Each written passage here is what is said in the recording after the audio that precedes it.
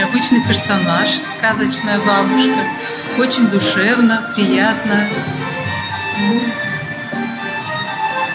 Во всех отношениях. И красиво, и звук. Все хорошо очень.